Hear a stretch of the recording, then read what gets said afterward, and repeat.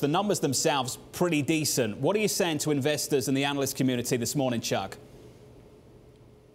Well, first of all, good morning, Jonathan, and uh, thanks for having me on. So, look, there's there's three key things I think are important about the quarter. Number one, the strategy we laid out three years ago is working.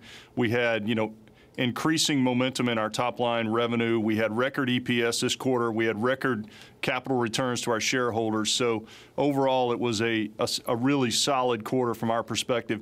Secondly, the innovation that we're delivering in our portfolio with the, you know, the this intent-based networking and this new platform, the Catalyst 9000, that is the fastest ramping product in the history of the company.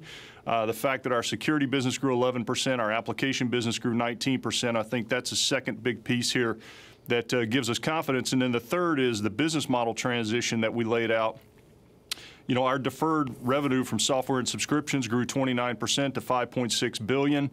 Uh, our, you know, our product uh, revenue that came from recurring offers was up over 30% year over year. So we're pleased with uh, the performance. Our guide was very much in line with what the street was looking for. I think actually next quarter we're guiding for continued momentum on the top line as well as record earnings per share. So uh, we're very pleased with where we are and we're pleased with the quarter. I want to get to the share of the overall business, Chuck. I don't think anyone would dispute that these have been solid numbers from your company with you at the helm. But to get the software and services business targeting over 50%, I believe, of the company of total sales by 2020, how close are you to that target now, Chuck? And what do you need to do to get there? Well, I think our, our software and services combined today are in the upper 40s, so we're, we're making great progress towards getting there. I think the thing that I would point out is that, you know, when you look at what we've accomplished and the, the transition for a company like us, this is not, it's not as simple as, you know, a software company that just moves the software assets to the cloud, turns it into a subscription model, and then flips a switch. That yeah. in itself is complicated.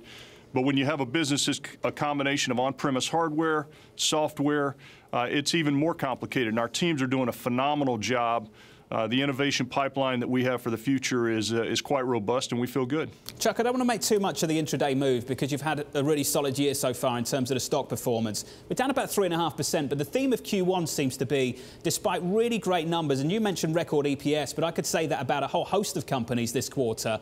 Investors, sure. for many, the takeaway seems to be that maybe Q1 was as good as it gets. Is Q1 as good as it gets for Cisco, Chuck? Well, it was it was actually our third quarter, where our fiscal year ends in July, Jonathan. So our, we just gave guidance for our Q, Q4, which is actually better than what we just achieved in Q3. So I think that uh, you know we we guided to increase momentum on the top line next quarter. Uh, and you know the thing that I also want to point out is people don't really understand is that in our core networking infrastructure, where we've delivered new innovation with this Catalyst 9K that I talked about earlier, we also introduced a subscription model on top of that switch, which has never been done before. And so when we when we see the order growth that we're seeing there, it's also important to remember that 20 to 25 percent of that revenue or those orders actually gets deferred to the future. So yeah, uh, it's uh, we're in we're in good shape and we're quite confident. So Chuck, just a final question about the cash pile. You and I usually go back and forth on that. I believe it's uh, 77 billion dollars in cash now. You've announced that 25 billion dollar cash back. What's the the strategy? The 25 billion dollar buyback rather. What's the strategy with the cash load? And do you feel any political pressure, so to speak, to push that cash not into buybacks, but into things like investment, into wages? Well, Jonathan, first of all, our cash balance today is is much lower than the 77 billion. But uh, look, we announced that we're we're going to return capital our shareholders through buybacks and dividends. We also, because of the positive operating results, we have actually done some pretty aggressive salary salary programs for our uh, employees. Uh, we're also looking at strategic M&A in that envelope. So, you know, we have a plan that we've been very clear on, and I think we're executing very well against it.